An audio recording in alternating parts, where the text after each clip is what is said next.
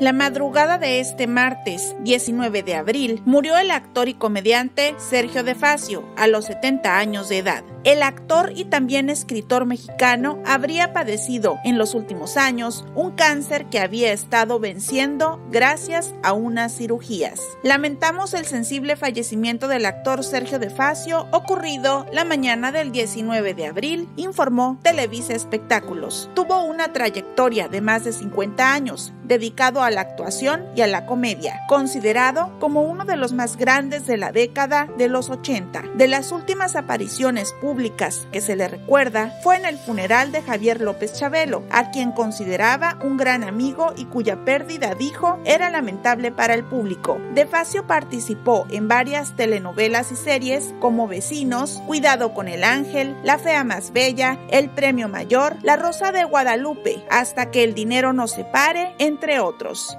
Descanse en paz.